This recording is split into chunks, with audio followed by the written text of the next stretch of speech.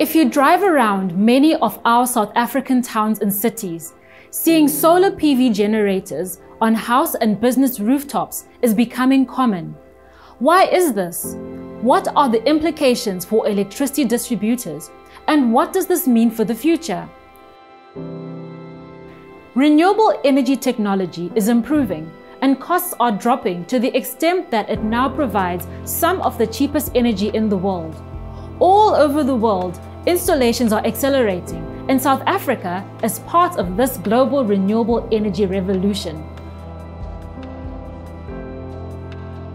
It's inevitable. You cannot really avoid it. It's going to happen either way.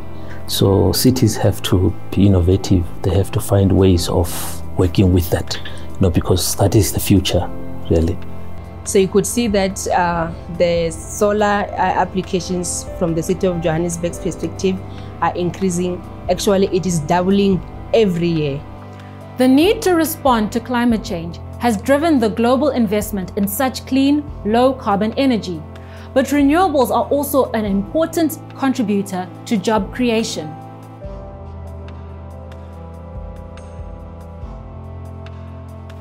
This video will show why SSEG does not pose a threat to municipal distributors or to human safety as long as the right requirements and the right tariffs are put in place. Many municipal distributors have already developed these processes and requirements to accommodate SSEG. They are also developing tariffs to ensure that SSEG customers are still covering their fair share of network costs, so municipal revenue is protected, while at the same time keeping a reasonable business case for the customer. If you have a suitable tariff, there is no threat to municipal revenue. Simple as that. This has been demonstrated in analysis done in over 30 municipalities from around the country. I think a couple of years ago, there was that notion that SSEG is taking up, you know, the, the revenues for municipalities. But I think as uh, time went, municipalities started to understand that this could be a new revenue stream, alternative revenue for municipalities, and this could be a win-win for customers and municipalities as well. In terms of customers being able to even sell back the excess that they have from their SSEGs, and for municipalities to be able to, you know, uh, supply other customers using the excess generation as well. So it's not here as the bad guy to the business. SALGA and the AMEU have endorsed a set of documentation and processes for use by municipal distributors to allow SSEG onto their networks.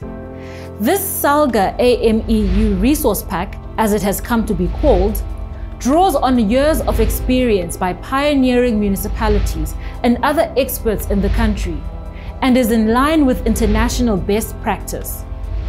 Using this resource pack, municipal distributors can quickly and easily be in a position to allow suitable SSEG systems to be connected to their networks. More than 40 municipalities around the country are already doing this. If you would like further support, you can look on the Municipal SSEG Support Resource website www.sseg.org.za. Most of the resources mentioned in this video are available there. There are free online training resources at www.training.sseg.org.za. You will need to create an account, which is free. We also offer periodic online or face-to-face -face training courses on SSEG. Email support at sseg.org.za to be kept informed.